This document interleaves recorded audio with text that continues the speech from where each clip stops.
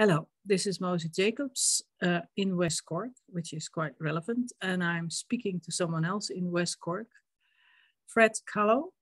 Hello, Fred. How are you? Hello, Moses. I'm fine, thanks. How are you? I'm fine. And um, can you tell me where you are? I'm in my house on Cool Mountain, which Okay. is north of Dunmanway, West Cork. Okay. And um, the reason I'm talking to you is that you're about to publish a book. I think it is your first book. It is, yeah, And it, it's called Blow in Living Off Grid in West Cork. Am I saying that rightly? That's right, yes. you have to look. and um, um, it it really interested me because the you know because you you described very clearly how you moved to West Cork from the Isle of Man. So uh, how would we call you as a as a resident of Man? How the Manx? I'm a or- Manxman, yeah, Manx. Okay, a Manxman. Because I right. there's a there's a there are cats without tails called Oh, there's a lot more than that. But are, are they actually on the island as well? Do you have there, to? there are indeed. It's also the first place on the world that allowed women to vote. It's Really? also the oldest continuous parliament in the world. Really? It's uh, it's quite a an interesting place for lots of reasons. Yeah. And when when did when were women allowed to vote for the first time? Uh, I think it was about 1884. I'm not quite sure. yeah. It was before New Zealand. Most people claim New Zealand has that honour, but we beat them. Of course, it wasn't all women. It was just those who had lots of money. But uh, you have to start somewhere. Wow. And is it is it in general? I mean, I, I don't I know nothing about the place, but apart from the cuts, and there is a a, a car rally, I think. There's Uh, a famous motorcycle race. Uh, Yeah. Oh, it's a motorcycle. See, okay. Um, but I mean, is it is as a place because is it is it more Celtic than the rest of England because it it's it belongs to the UK, doesn't it? Belongs in it, the UK. It was never in the UK. It was No? never in Europe. It is actually an independent country. Really? Um, what can I say about it for you? Um, I, I really I really assumed it was part of the UK. No, many people do. Technically, it's not. Um, the head of state of the Isle of Man has a second job. Uh, she's also the Queen of England. But Uh who's in the Commonwealth? two jobs, the same person. It is in the Commonwealth. Yeah, it's officially a crown protectorate, I think, or a Is it- crown is it- dependency. Is it so it has the same status as Canada and Australia and No, it has the same status as places like Jersey oh okay okay. And and and Anyway, I, I live in West Cork now. I know. 30 years. But I, I still find it interesting because I mean I assumed you were an Englishman moving into Ireland, but you're not. You're No mistake.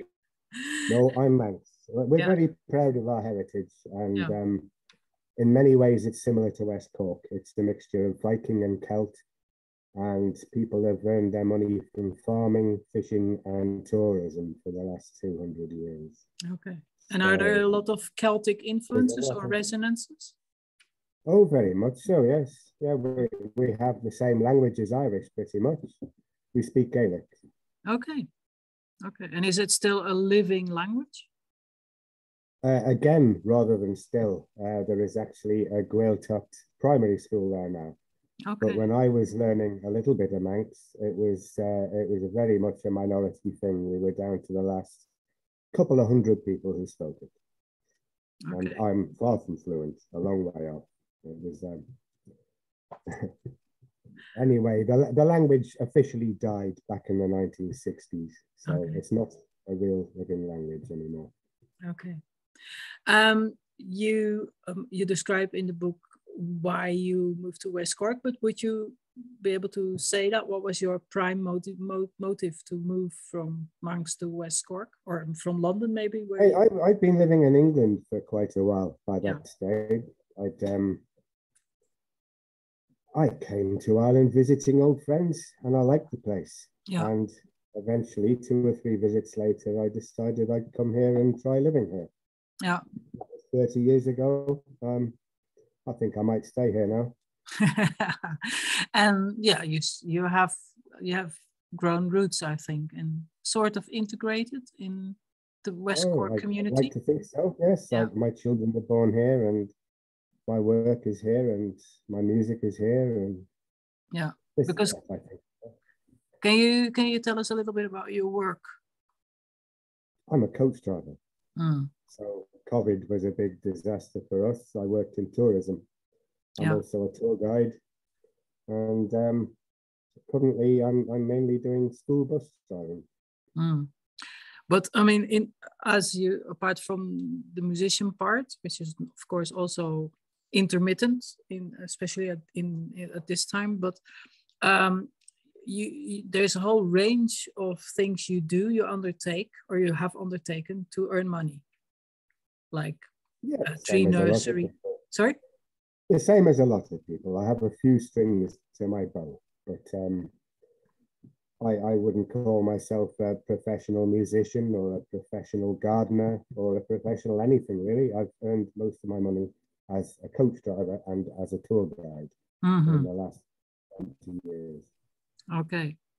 Okay. And one of the, the things that I, I found really interesting is, um, yeah, your very practical descriptions of how you interact with your environment to um, live independently is uh, with a group of people that are around you, with the community of Cool Mountain, which has changed over the years, obviously. we we uh, we never quite agree whether it's a community or a village. It's a collection of individual people. And the time I was writing about in my book was the 90s, mm. which was a very exciting time for me. And I suppose that's why I wrote the book. I'd like to think it was interesting to quite quite a wide range of people. Yeah, it is. I mean, you built the house that you're now sitting in, didn't you, yourself or with other I had people? a lot of help from my friends. I yeah. didn't do it all by myself. I'm not a particularly practical man, but uh, yes, I did build it. Yeah. you come across as quite practical. Oh, thanks. some of the people, some of the time. Yeah. Well, I don't know. I mean, you and also as somebody who actually uh, learns as he as he goes along, which is, I mean, I think that's a talent in itself. In a way, it's an improvisational talent I suppose. Isn't that right? Um, yeah, I suppose so. Yeah, I, I, I enjoy a wide range of things, and um, life's very short. Just have a lash and see how you get on. sometimes it works, sometimes it doesn't. Okay, and uh, can you tell a little bit about the process of writing the book? Um, yes. Uh, I'm not really sure how to start. I, I made a few false starts. I okay. I uh, ended up with a lot of stuff in the waste paper basket. Good. And then I imagined I was writing a letter to somebody. Okay. And it developed from that. So um, the, the subject matter is uh, it's I'm, I'm quite opinionated. I'm sure that came across out of the book. And I wanted yes. to avoid making it sound uh, pompous or preachy. I wanted to write it in a very informal style. And so something like a cross between writing a letter to an old friend and a, di- a, a diary. And that eventually seemed to work. So that's how I started writing it. Okay, that's that's really good. And but you did you write it on a computer? I did. Okay it sounds maybe like a silly question, but you, you are quite vocal about how you, you know, how you tr actually trying to keep, uh, you know, electricity away from your life in some ways. Let, us be clear about it. The, the time I was writing in the book was the 90s up until maybe four or five years into this century. Yeah. Um, these days, I have electricity. Yeah, I can see that. Quite a, a modern life. But in in some ways, I mean, you, you don't sort of date the the. Uh, I, I didn't completely realize it was all in the 1990s and the early noughties.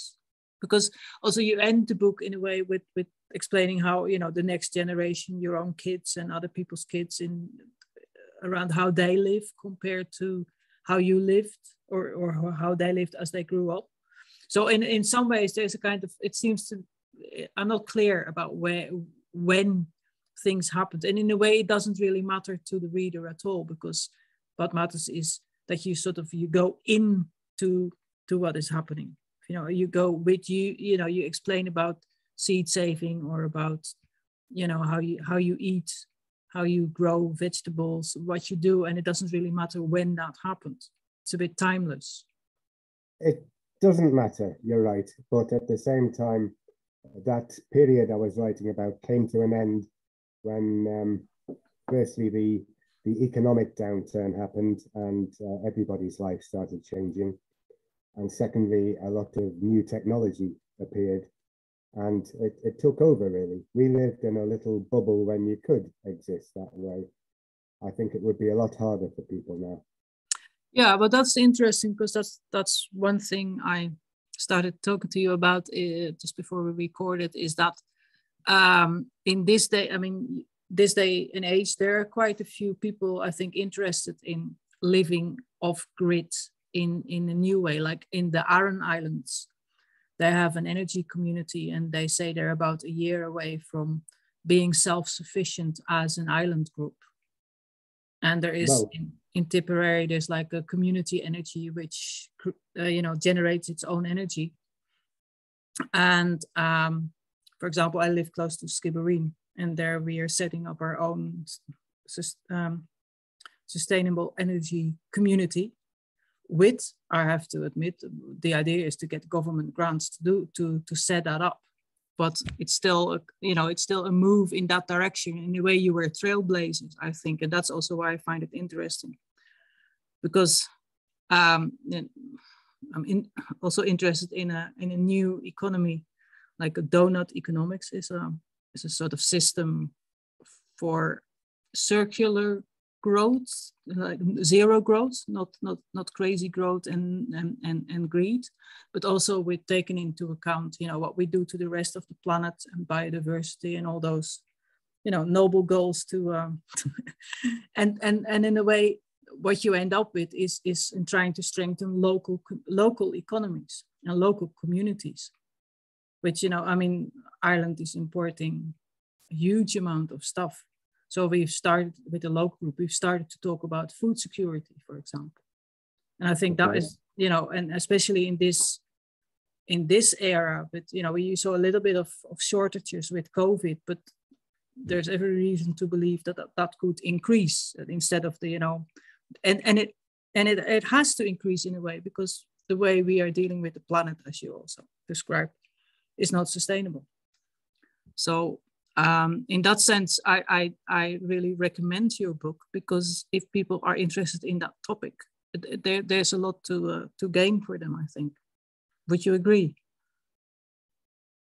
Uh, I, I'm not quite sure I was um, thoroughly understanding what you were talking about there, really, the donut economics. I agree that you can't have infinite growth in a finite system. I really feel that um, capitalism is a force that is destroying human uh, communities and the biological environment, really. I find it quite easy to pin a lot of the blame on the whole consumer, the, uh, the, the capitalist constant growth thing. I'm, I'm not very good at speaking about this politically. It was more of a gut feeling. I wanted to turn my back on that kind of a world and so did many of my friends who are now my neighbors. We collectively decided we didn't really want any part of that. Yeah, but I think that's a feeling shared shared by more and more people actually, except you know the, well, the, the question is how it. to do it. Sorry? I'm I'm glad to hear that. I, yeah. I, uh, I don't really know much about the people on Aran Island or in Tipperary, so I can't really comment on that. Yeah. Uh, uh, Are they no. still using mobile phones? Do they grow their own food? Have they built their own homes? Mm. Do they need to live with um, an economy? If you live on an island, can can they actually live by barter, for example? I've no idea. Hmm. Is yeah, yeah. Is that is that is yeah because the, you described that as well, but uh, obviously it's never going to happen totally. We're never going to go go back to that stage. I think where we totally lose the idea of money. Or do you envisage that? You're right. Um, arriving into West Cork, I I wasn't trying to uh, to set up some kind of an alternative political reality. I was here to enjoy my life.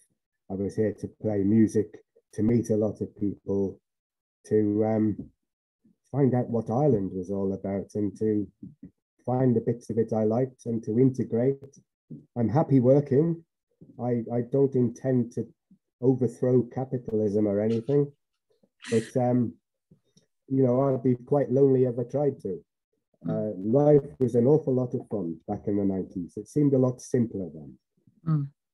And we found that we we arrived in a place where it was very easy to live cheaply and to do things for yourself rather than depending on, on business to do it all for you. So even now, I, I have my own well. I'm not connected to any kind of uh, water mains or sewage or anything like that.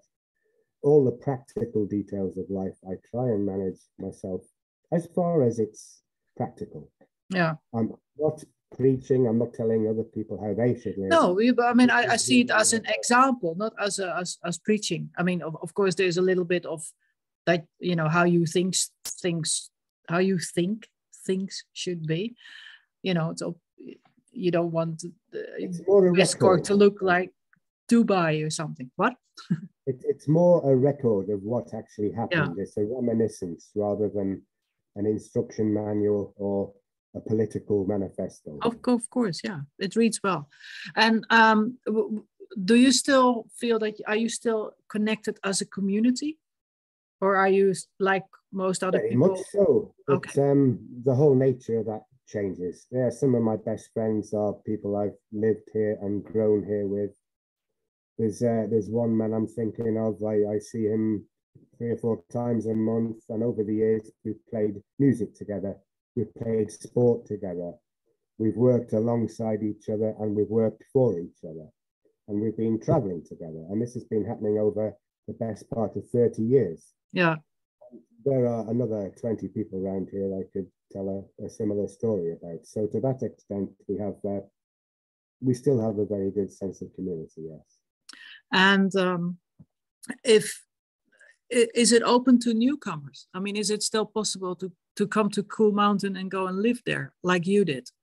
It, it's not really a case of uh, somebody declaring that it's open. I bought a bit of land mm-hmm from the farmer who was willing to sell me a piece.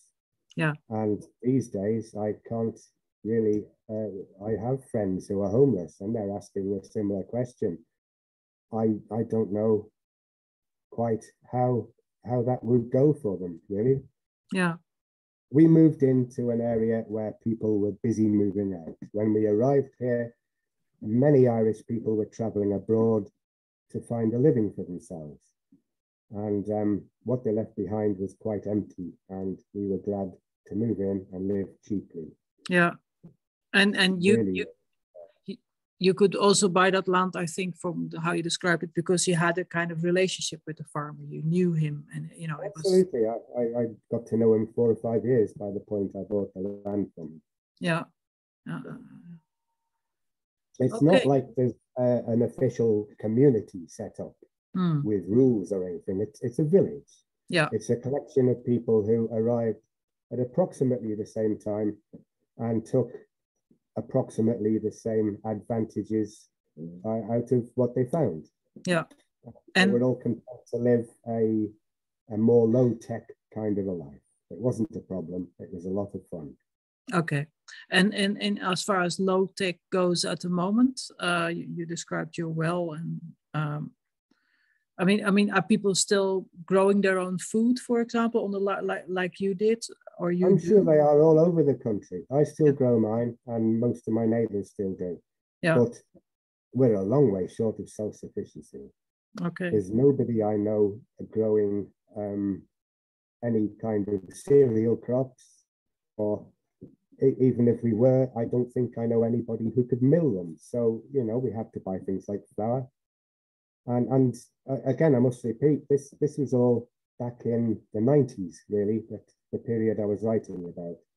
Yeah. These days, I, I live in a modern house and I buy quite a lot of my food from the local supermarket. Yeah. But I do as much as I can myself. And would you be able to sort of um, describe what would need to to happen for us people living in Ireland to become self-sufficient? Oh, I have no idea. Um, I mean, you, you, you named the, the mill. the government. I have no idea. I, am no. not trying to tell anyone else how to live. It's simply a record of what myself okay. and several of my friends did 25 and 30 years okay. ago. And but do you do you feel you don't you know uh, if people wanted to ask you stuff, things about oh how did you do this or how did you do that would you be happy to talk to them or is it like okay go and look and you, you find your own an way? example. I'm not quite sure what you're asking. Well i don't know. I mean uh, you you you also write about your um like mistakes you make. I mean something about the potato fields and uh, you know you, you learn a lot by think how if you zoom in on the details. I think a lot of it is about detail about you know how you can learn from your errors that's true um, what what i learned from that was that um, food farming on a big scale is best done by professionals mm-hmm. I, we were happy to try it when you do it uh, for your family on a garden scale, it's fine. When you scale up, you have to take account of the time you're putting into it. Uh, if you're trying to do it to make money, then you have to. Your time is is worth something. Yeah. And we didn't realize that. Yeah. Uh, so we did an awful lot of work to produce the amount of potatoes that you could actually go out and buy for a very small amount of money. Yeah. But so you, it was very satisfying work and we, we learned in lots of ways. It was yeah. grand. It okay. Was. it was a lot of fun is the main point. Yeah, well, I hope.